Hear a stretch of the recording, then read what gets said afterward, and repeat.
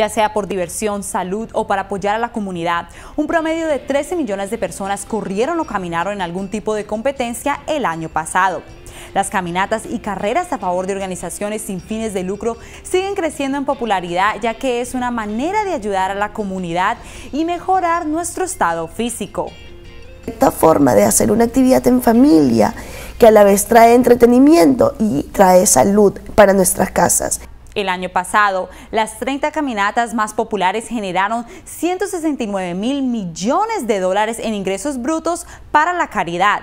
De acuerdo con un estudio hecho por el Run Walk Ride Fundraising Council, entre las organizaciones que recaudaron más fondos en el año 2012 fueron Relay for Life, American Cancer Society, recaudó 415 millones de dólares para apoyar a personas que sufren de cáncer, así como avanzar la investigación del cáncer. Race for the Cure recaudó 131 millones de dólares para la investigación del cáncer del seno y March for the Babies colectó 105 millones de dólares. Entre las caminatas que se darán este año aquí en Atlanta será la caminata de Fiesta Atlanta.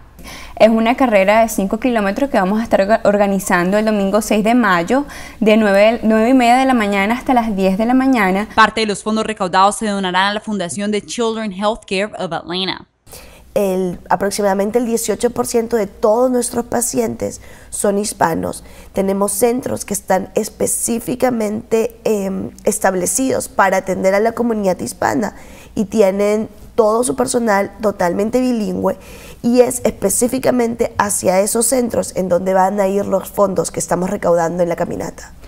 En la página de internet Run Georgia podrán encontrar una lista completa de las diferentes caminatas o carreras que se dan en el estado de Georgia.